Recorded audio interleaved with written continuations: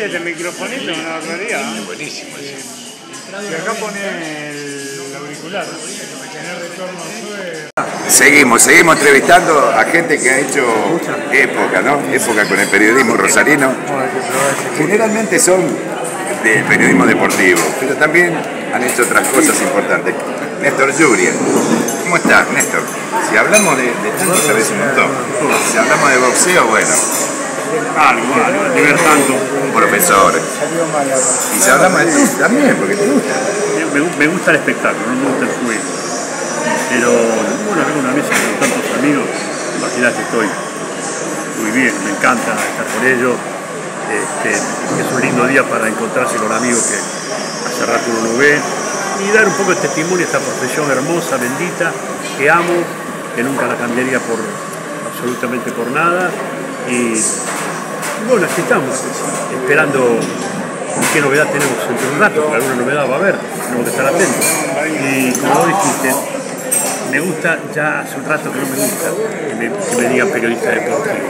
Ya no soy más. Es decir, soy lo que fui siempre, un periodista. En algún momento hago periodismo deportivo, en otro hago otro. Pero es lindo que el periodista deportivo, el que se sienta periodista, Tony, si no queda un poco encasillado. Se olvidó el amigo Néstor Jaime Lluvia, ¿eh? historia del periodismo, se olvidó decir que fue el inventor del trasnoche en la televisión rosarina. En el año 78 fue el primero que hizo trasnoche por Canal 5, cuando el cura decía hasta mañana y él sin embargo los sábados de la noche inventó el trasnoche en la ciudad de Rosario. Y usted no solo es deporte también, como le decía Néstor Yuria a Nelson. Y me gusta mucho la actividad gremial, me gusta mucho el periodismo, eh, el periodismo donde uno puede opinar sobre las situaciones del- de los gobiernos, de los trabajadores. Uno siempre se dedicó a la parte gremial, siempre me gustó defender todo lo que tiene que ver con el movimiento obrero, así que además de relatar, eh, estoy en eso que me apasiona también. Por Radio Nacional. El señor Omar Sapiencia, una vida en- en esa radio que, no, que nos identifica en todo el país.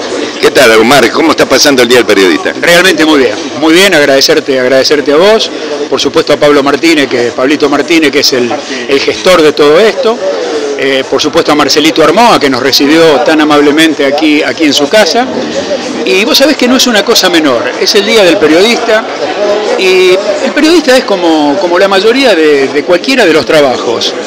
Eh, con algunos colegas te lleva bien, con algunos colegas no. Sucede en, to- en todos los lugares y hasta a veces de no parecer este tipo de almas, como las que termino de nombrar, de estas personas realmente excelentes que nos juntan, que nos hacen pasar este buen momento, realmente yo creo que, que es difícil. Entonces por eso agradecer este momento, gozar este momento, intercambiar opiniones, como en la cancha nos encontramos todos. En, los actos deportivos nos encontramos todos, pero todos estamos trabajando y tenemos menos tiempo. Por eso yo digo que estos son los tiempos y los momentos que uno tiene que gozar, que uno tiene que estar realmente bien como lo estamos haciendo y por supuesto agradecido, como lo agradecí recién, a quienes fueron los eh, gestores de este momento. Te incluyo a vos también, querido Tony, de tanto y tantos años y por supuesto, dijiste Radio Nacional, 35 años en Radio Nacional, el orgullo de, de hacer 35 años que estoy en Radio Nacional y también en LT8. Hoy es el Día del Periodista y todos, todos tienen, tienen algo. A mí me pasa de fuera del fútbol, porque vos estás comentando fútbol y comentás problemas de la sociedad que tenemos. Siempre, sí. Eh, Siempre, o sea que no son solamente eh, periodistas deportivos. Eh, el señor Eduardo Luis, años y años relatando fútbol, ya una historia en Rosario. Sí, son años. Eh, ¿Cómo te va, Tony? Bueno, un verdadero gusto compartir esta mesa, como dice Mirta Legrand, esta mesaza, ¿no? Donde hay amigos de muchos años. Sí, este, al tener tantos años de periodismo, 53, tengo amigos de distintas épocas, este, que me fui haciendo de distintas generaciones. Que tenemos, bueno, Néstor Duria, Sapienza, Rainero, son de la, de la época mía y después otros más jóvenes como ustedes, este, como Pablo, como Paseo Rosarina, eh, todos ustedes, que bueno, de otra generación periodística, ¿no? No, no, este, realmente es un verdadero placer, un verdadero placer porque eh, los años si bien este, nos identifican a todos corporalmente, pero son secundarios para, para trabajar bien. Uno se sienta bien, eh, esté con ganas, tenga proyecto, tiene que seguir. Este, yo creo que viejos son los trapos, uno es más experimentado, es veterano, que es un término que me gusta mucho, me parece más correcto. Uno es veterano, pero bueno, mientras siga la posibilidad de seguir trabajando, creo que hay que hacerlo, no hay que taparle la entrada a ningún tipo joven, por lo menos yo no lo hago, pero bueno, que me dejen un lugar, que me respeten, yo estoy satisfecho, yo estoy muy tranquilo y muy contento. Es un verdadero placer de compartir este tipo de mesa. Muchas gracias al querido amigo Armoa, Pablo, a vos, que siempre se acuerdan de mí. ¿eh? Bueno, y cerramos con parte de, nuestro equipo de Pasiones Rosarinas. ¿No? Primero los invitados por, por Marcelo Armoa, aquí en Bar La Fábrica, y después la gente de nuestro equipo. César Alvado, otro relator. ¿Cuántos relatores? Yo parece el día de relator, no del periodista. ¿no? Es así, qué relatores, eh? Nelson Reinero, el doctor Eduardo Luis, Pablo Martínez, realmente un lujo, muy contento de estar en el programa nuevamente y por supuesto este encuentro y el gran saludo para todos los colegas. ¿Cómo estás? Eh, hoy en Cadena 3 junto aquí a Pablo Martínez, eh, ¿cómo está viviendo esa etapa tan linda, no?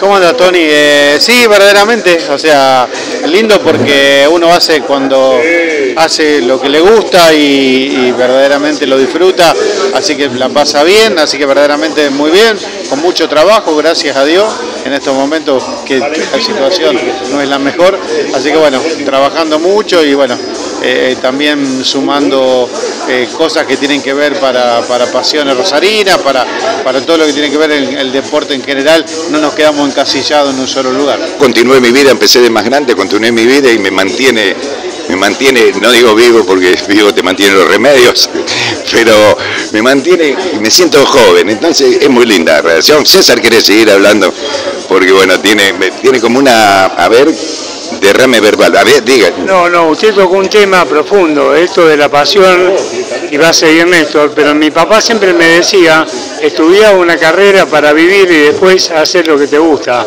Mi viejo tenía razón, no pude vivir de periodismo, pero no podría vivir sin ser periodista.